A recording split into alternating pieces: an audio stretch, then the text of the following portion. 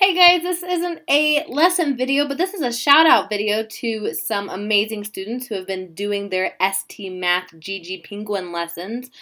We have leveled up as a class almost uh, 15%. I have our postcards. Sorry guys, I'm trying to stay in front of the light. I need to put a curtain up. I have our penguin posters from Jiji. Let's see, there we go. I'll put this in front of the window. I have our Jiji posters. We reached 10% when he was in Norway. And we reached our 20% on ST Math when he went to Ireland and the United Kingdom. But we have two more we got to add to our postcard board from Jiji. And that's 30% from our own very New Mexico Carlsbad Caverns. Jiji's postcard says... Carlsbad Caverns are famous for the thousands of bats that leave each evening and return every morning. In fact, it was by following the bats that the caves were first discovered over a hundred years ago. When I visit one early morning, I watch them dive from thousands of feet in the air and then flap their wings like crazy to reach their roosts in the cave. What an amazing experience! As a penguin who enjoys the occasional balloon ride, when I heard parts of the caves were explored using balloons, I had to check it out. Scientists tied balloons to a camera so it would float up to the hard to reach sections. They even named one of the rooms they discovered the Balloon Ballroom. Now that some creative problem solving, how have you been a creative problem solver playing ST Math? I know a lot of you problem solve with your ST Math lessons. You're being just like Jiji. I've uploaded a clip to um, a video that explains Carlsbad Caverns because I've never been there. I, I know I've lived here for almost two years now, I've never been, and some of you may not have been. So I found a very cool, interesting video that shows the inside of the caves. So I'll link that with this post. So that was 30% we reached as a class.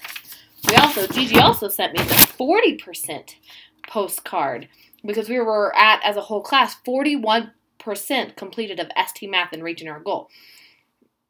This postcard says he's traveled to Arizona at Monument Valley. Jiji says if the tall stones of Monument Valley look familiar to you, it's probably from seeing them in the movies. Everything from old cowboy movies to the latest Jumanji have been filmed on this part of the Navajo Nation reservation near Arizona and Utah. The dramatic sandstone monuments and beautiful desert colors make for a really cool movie scene.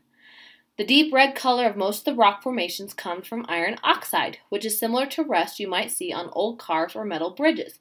You might also notice that the buttes have three distinct layers shale on the bottom, sandstone in the middle, and a special kind of sandstone called Moenkopi Formation on the top.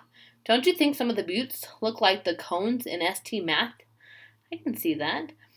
It makes me feel right at home. Doesn't Jiji look so happy? So I have our postcards. He sent them to me here at home so I can add them to our postcard board and I'll get those up.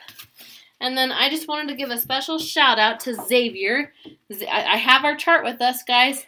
Xavier moved up one level. He's in second place right now. Let me block that light. Uh, Malachi's in the lead. He moved up one level. Kaleo moved up a level. Lindsay, great job. You moved up two levels since we've been away from school.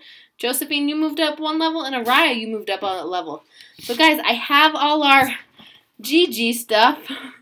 Sorry, guys, I will get my curtain up today, I promise. I have all our Jiji stuff at home. I'm keeping track. I get on every day to see how you guys are doing.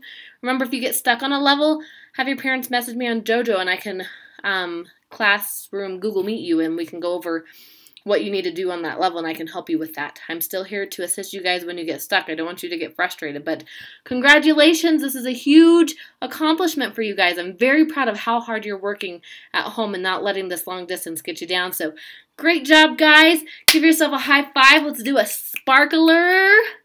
All right, and I will talk to you guys later. Have a good afternoon.